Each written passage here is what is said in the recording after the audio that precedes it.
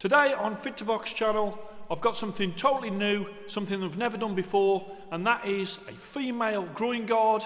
And for this, I've enlisted the help of one of our amateur boxers, Kaylee.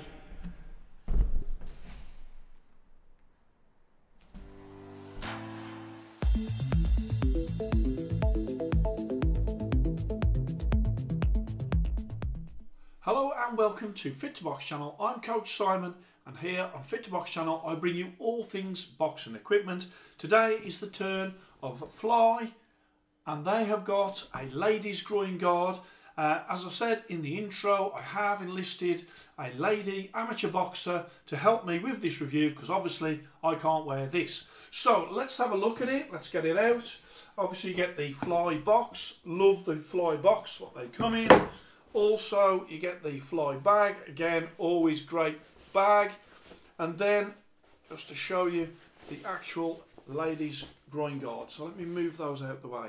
So as you can see there, a very different shape in terms of a groin guard to what we're used to on the channel, which is normally the men's ones.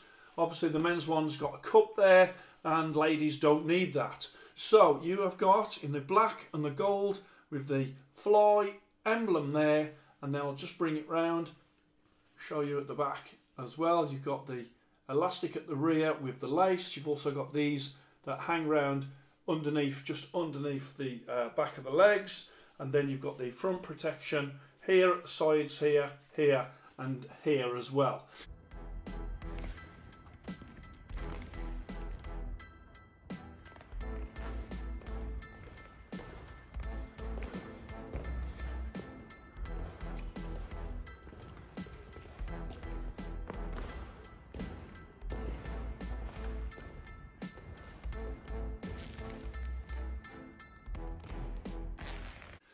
And so a lot of girls in the gym don't feel it necessary to wear a groin guard. There's a lot of lads in the gym as well who also don't wear a groin guard, which I find is ridiculous. I can't understand that. I never would spar without a groin guard. When it comes to girls though, um, I think it's because they think they're going to be uncomfortable. They think they're going to be uh, sort of uh, a bit bulky. What Fly have done is they've bought out a lightweight, super stylish groin guard for girls that they can wear over shorts in sparring or underneath their shorts in actual fights.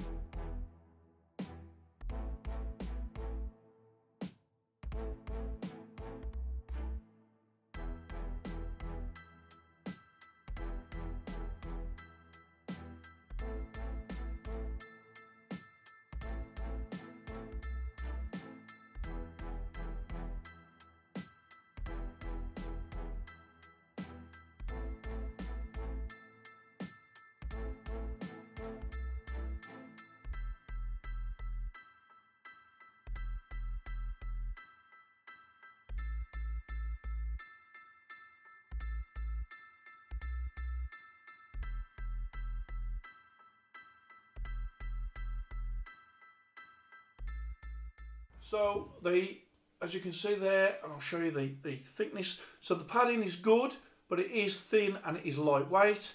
This is made of beautiful fly leather, um, which they use obviously on their gloves and also the male groin guards and head guards. So it's made from a beautiful leather. It is lightweight, made in Britain.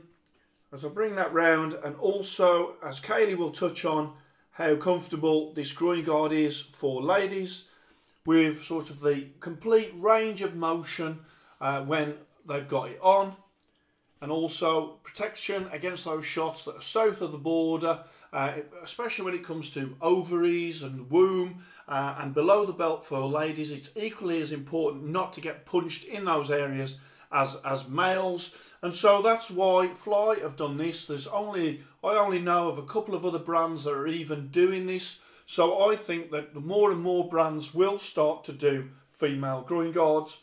Let's have a closer look at this groin guard.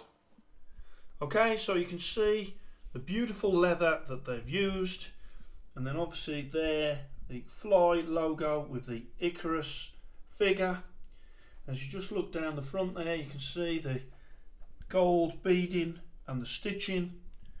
And this is super lightweight when it comes to the scales. 8.6 ounces for the groin guard.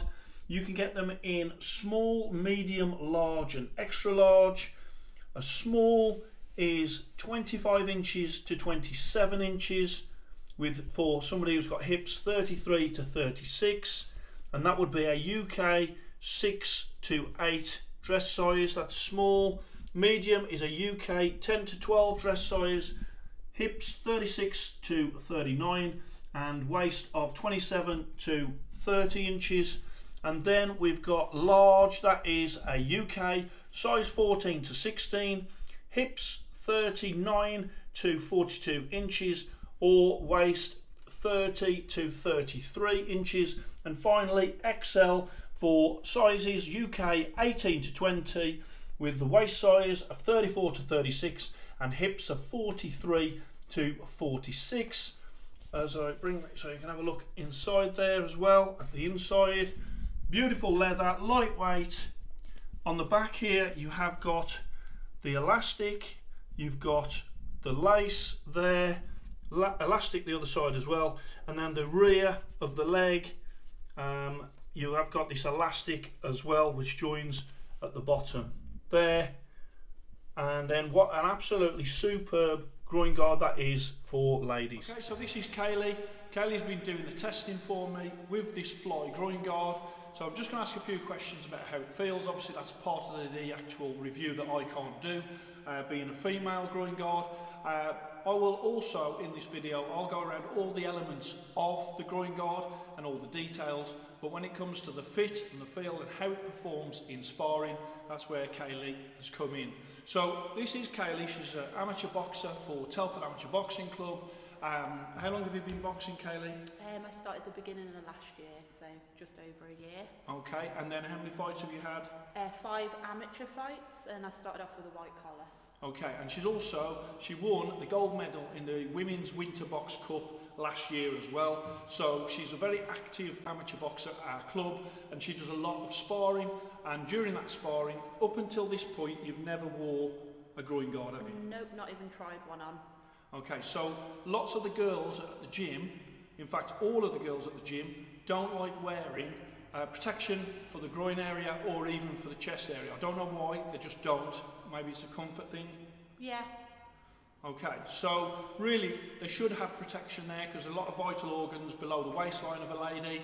And um, so really I would say that all female boxers do need to have a groin guard. So tell me about when you've used it in the sparring, how does it feel?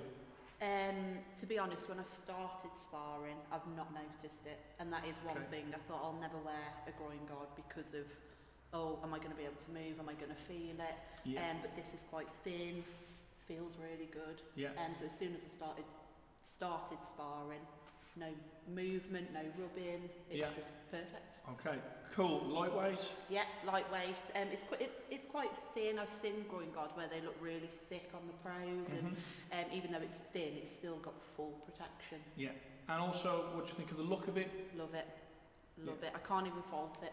Yeah, really, really nice. It does look good. Obviously, we've got some footage in this video of Kaylee sparring, so you can see all around uh, the groin guard. Uh, she's saying how comfortable it is. Also, it's made of the top quality leather, made in England.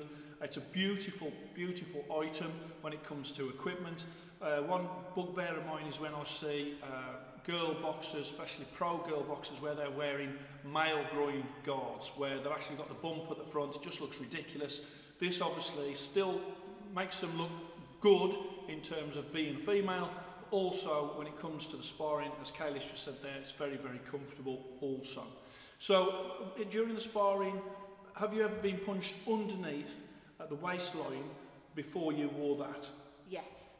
So I've been punched pretty much where it's protected now and even lower sometimes. Um, and it's very painful. I know that the men wear it for obvious reasons and the women kind of just think, oh, it's fine. We're not going to get as hurt as the blokes. Um, but it does really, really hurt and it hurts Yeah. for a long time after. Yeah. Um, so when, when I was sparring yesterday, I did actually get hit low Yeah. and I didn't feel a thing. Yeah, yeah. And I think the same for lads when they're sparring. Loads of lads don't have a groin guard before. They don't really think that they need one. There was a lad in here last night, he got hit twice actually below the belt. I've sort of said to him straight away, he needs to get a groin guard. We're going to try and implement in this gym that not only they have gum shields but they have groin guards as well and I'd like that to be for females also because the last thing you want to do is protect your teeth, protect your head, protect your hands and then obviously get an injury below the belt. So going forward now you've used the groin guard do you think you'll be using it or will you just go back to, to not using a growing guard? 100%.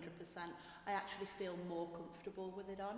Okay. Um, so when I'm moving around, I feel quite good in it. Yeah, yeah. And also, under your shorts, how does it feel under your shorts? Fine. Because it's so thin as well, my shorts have got a, a elastic band. Yeah. So just fit perfectly. Fantastic. Okay, if you just, if you just give us a, a bit of a twirl, let's turn around so you can see the lace at the back. Okay, so you get a good, a good fit at the rear. Uh, it's got elastic both sides like mouse groin guards and so there's a bit of give so as you, as you pull the laces it does sort of mould round sort of the waist and then if you move round then you've got these, these bits here which go a little bit lower Okay, there, and then obviously the front protection as well. So, thank you very much, Kaylee, for that. Um, it's great to get one of the amateur boxers to give feedback. On the channel, it's not just my feedback, as you know from my Instagram from YouTube as well. I get lots and lots of the boxers involved in the testing, so I get my views not only from myself but from several different sources to give you the best, most rounded review that I can give you. Thank you.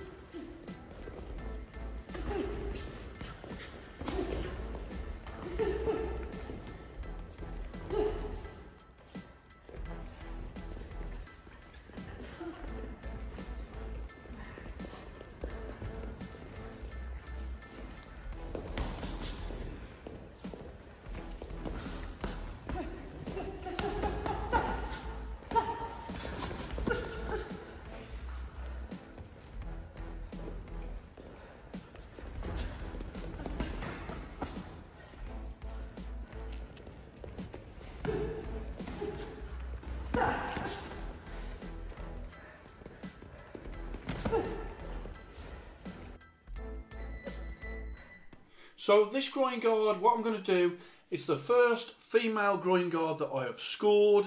I am scoring it as a female groin guard. So the card that I've done is not to be compared to the male's groin guards. On my website, I'm going to have a male groin guard list, which I've got already, and a female groin guard list, of which this is going to be the first one. And then as time goes by, if I get any more female groin guards, then I'll enlist the help of female boxers at the club to help me assess uh, what those those actually score. So uh, let's get up onto the screen the scorecard. I've gone style 96, comfort 97, durability 96, performance 97, protection 97. Obviously, that I'm giving that a rating of 97 for the protection for females. Okay, so again, that's not comparable to the protection scores that I've given on the male groin guards. So protection 97. Value for money 94. So this is 220 English pounds. Uh, it's four to six weeks for delivery.